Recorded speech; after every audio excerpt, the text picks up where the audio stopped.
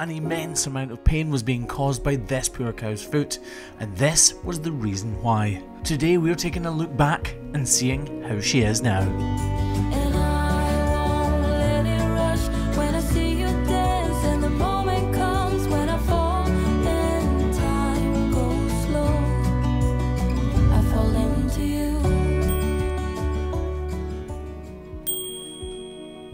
So this is cow 341, as she was around two weeks ago now.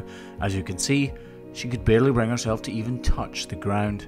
So we got her into our trusty KVK crush, lifted her foot into the air, and hoped that whatever the problem was was nice and obvious.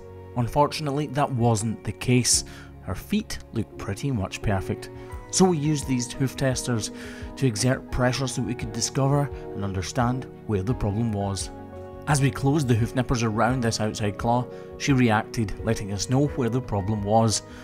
But when we got our grinder out, it still, definitely, was anything but obvious. My suspicions lay with the small black dot you can see in the yellow portion of her toe, right at the tip of my knife there. But it wasn't just that simple. I tried removing slithers of hoof horn with this razor sharp knife, and tried and tried and tried, but to no avail. Eventually, though, we did make some headway, and this was the result. An abscess hidden deep underneath the outer layers of our hoof horn, causing pressure and therefore causing the pain that was so evident earlier on. Using Hoof Grip Pro, we glued on a block to take the weight away from that outer claw, but there was still a lot of hoof horn to remove, and it wasn't exactly easy. Hoof horn is tough stuff, but we needed to put in as much effort as needed to remove all of the overburdening hoofhorn from the cavity beneath. Once we'd finished, it was raw and wide open.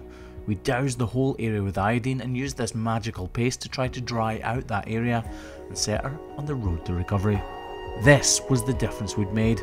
In just a short amount of time, we'd made a huge effort towards making her pain free, but from these images here, we can all clearly see that she was still very clearly in pain.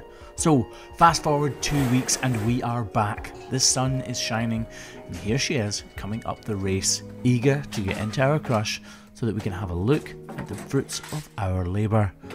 Her biodegradable bandage is still in place, and as you can see here, it's nice and loose and beginning to break apart.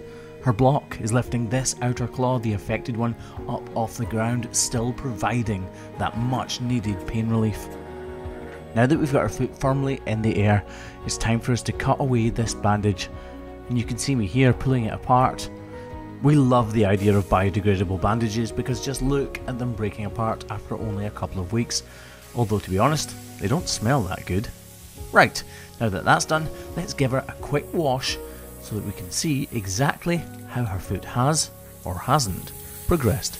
Ah. And if we just pause that there for a second, here's a quick public service announcement. They're coming, they're coming, they're coming! Four weeks ago, thousands and thousands of you guys pre-ordered this shirt, and this is the only one in existence.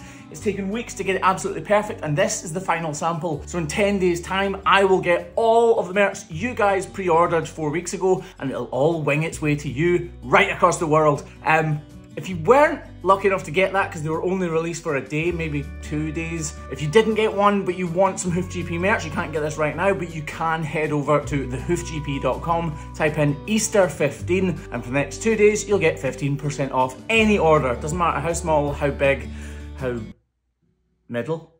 It, it, doesn't matter how big the order is. Type in Easter with a capital E 15, like the number, and you'll get 15% off. To the rest of you guys who did manage to get one of these awesome t-shirts, look forward to getting it through the post in just over 10 days time. So obviously I need to clean all of this off. This is the paste that we applied last time we were here, and here is the problem.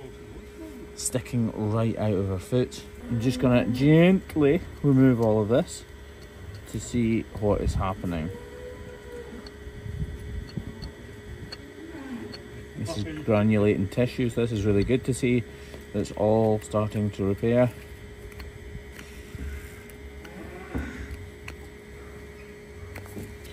That's actually in layers though, so I'm just going to take that top little layer off.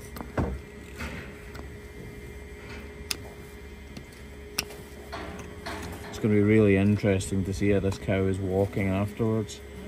It's been two weeks since we've seen it, and she has made a fair amount of improvement, but clearly this is still a real issue.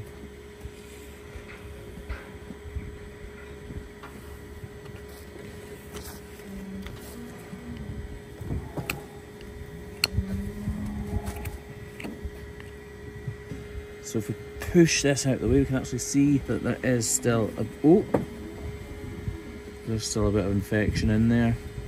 You can actually see that this part of the hoof horn here is insulting this corium. So this is granulated corium, which is why it's not pink anymore.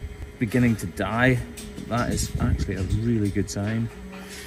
Right, I'm gonna try and push it out of the way of the back of my knife and just ease down that inside axial wall. Not that there's an outside axial wall. I really need to debride, as they say, by getting this hard edged. Oh, stop! You don't like this. Getting this hard edged hoof horn away from the corium because obviously every time she steps, it insults it a little bit more and stops it from completely healing. Chuck, chuck that wash, will you, please, Kyle? Thank you.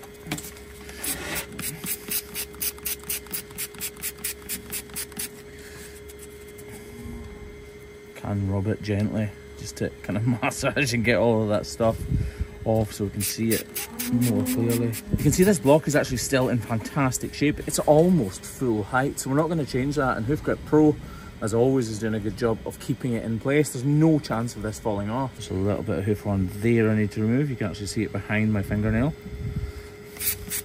Still just that little bit more to get from here. Just try and tease that soft tissue out of the way. Hey.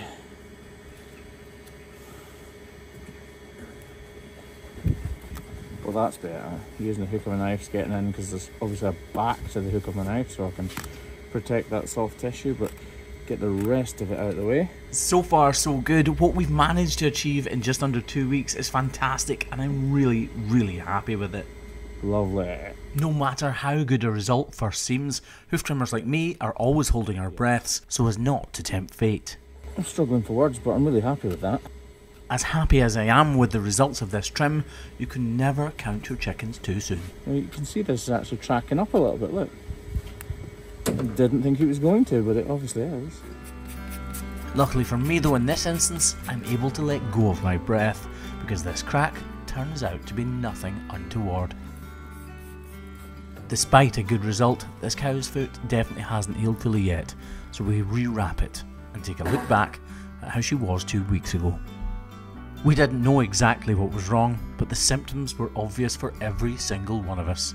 Fast forward two weeks to today, and this is how she's walking now. Confidently, almost pain free, and with a much brighter future than she had just a couple of weeks ago. Thanks for watching the Hoof GP folks. Make sure you've subscribed if you haven't already.